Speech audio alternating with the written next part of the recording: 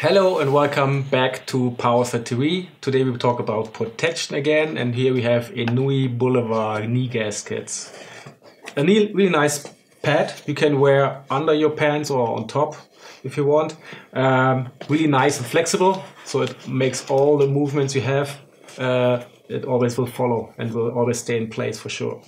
The main body is made of a ventilated SBR neoprene, and on the top we have like a nice rubber band, which is also having an extra silicone uh, uh, seal on it, so it won't slip down. It will be really supportive.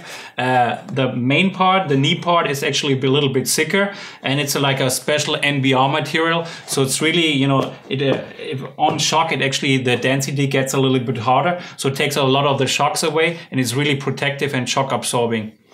In case you slide, there's a nice Kevlar material on top, so really strong and resistant, um, and taking away all the all the abuses. Yeah, really aramid, you know, reinforced. So that's why it can, like Jürgen said, it can be worn under the pants, but even on top of it. So even when you fall down with this material, it will be still protected really well. Very lightweight and recommended for a lot of sports like skateboarding, you know, inline skating, urban skating, uh, BMX riding, BMX riding, everything. So very nice little piece, and a lot of the actually skateboarders like them too. Um, we also sell it to a lot of the scooter guys, and also we have like a, uh, the snakeboarding or you know the border guys also like it.